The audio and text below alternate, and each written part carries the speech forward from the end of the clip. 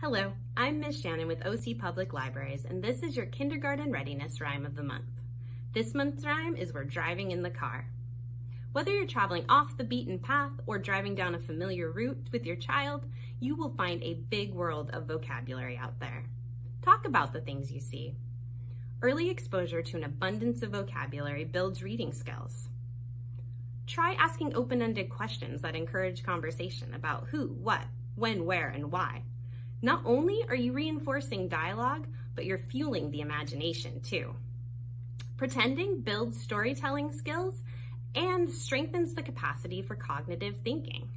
So when you honk, honk, beep, beep during this rhyme, you are accelerating their imagination and revving up the vocabulary. Let's take it for a ride. Are you ready? We're driving in the car. We're driving in the car. Honk, honk, beep, beep. We're driving in the car. All right, now we're gonna pretend to go really fast.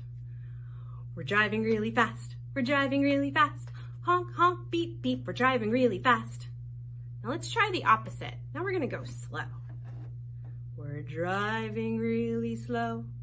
We're driving really slow. Honk, honk, beep, beep. We're driving really slow. Together to come up with other verses using cognitive skills such as opposites. You could try, we're driving in the light and we're driving in the dark.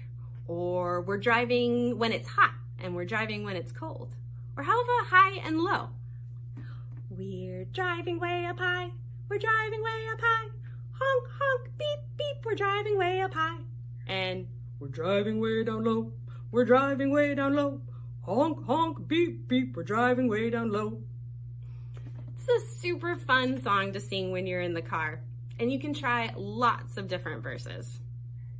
Thank you so much for joining us, and I hope I see you next month for your Kindergarten Readiness Rhyme of the Month.